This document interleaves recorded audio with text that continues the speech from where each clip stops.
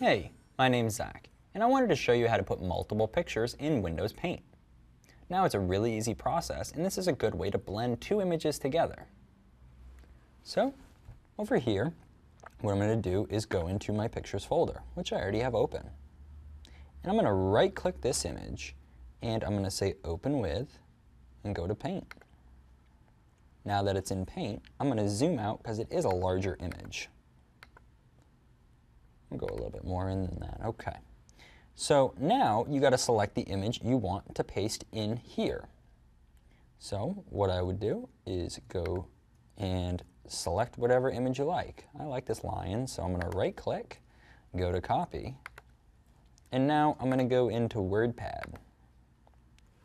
All I have to do is hit Control V, and the lion is there.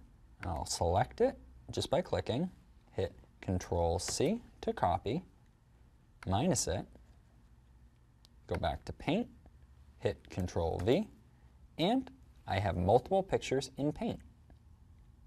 Now the reason that I had to go into WordPad first is if you just right click the image and hit copy, it's not going to work. But once I put it into WordPad, it actually recognized the copy and was able to paste into Paint.